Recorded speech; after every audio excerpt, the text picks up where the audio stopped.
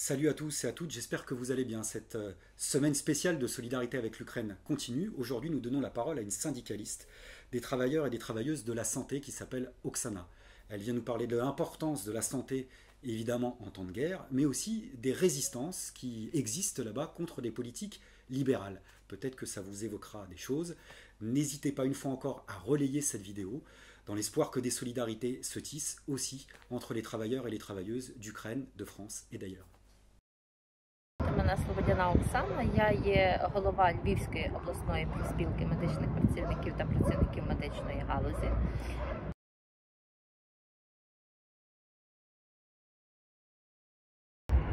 Е, Наша профспілка зародилася на е, всеукраїнській громадській організації е, під назвою Медичний рух Будь-як Ніна.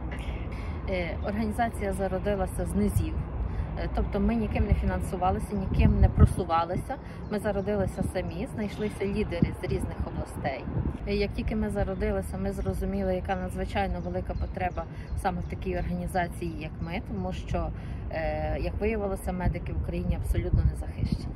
Е, Не захищені в плані фактично ми, ми і такими були. Ми не, ну, не стали, не стали, але війна ще більше е, якби ускладнила цю ситуацію. Е, Чим ми займаємося? Наша задача зараз в основному це захист медиків, це правовий захист, це і моральний захист, і підтримка, і дружні якісь відносини. І зараз ми виявили для себе ну такий є нонсенс. Е, Медики звертаються за допомогою не до влади, не до провладних структур, а саме в нашу організацію.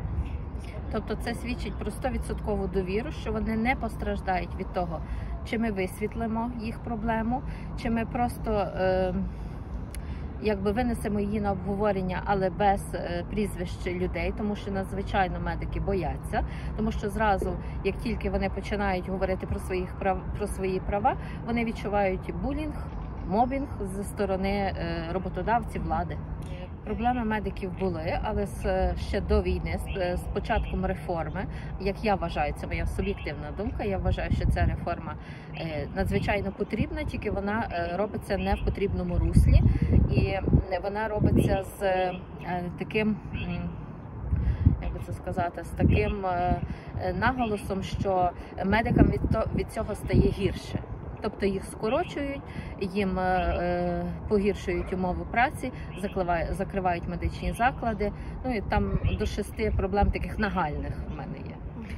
Ми не стараємося воювати там, до, до прикладу, з роботодавцем чи воювати з владою, чи бути категорично ви все погано робите, але ми намагаємося їм пояснити, де їх шляхи неправильні, Е, щоб це виправити можна було і знову ж таки об'єднатися і ну йти, реформуватися, працювати.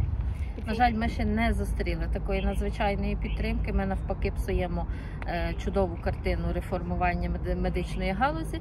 Е, але я думаю, що це з часом виправиться, тому що наш, е, кількість наших членів збільшується. Насправді там дуже велике поле діяльності, якщо ну, хотіти бажати так, якби так.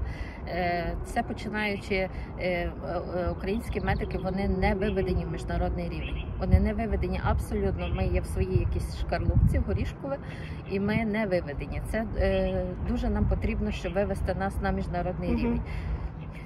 Якщо є медичні організації, ну безпосередньо у Франції чи закордонних е, за кордоном.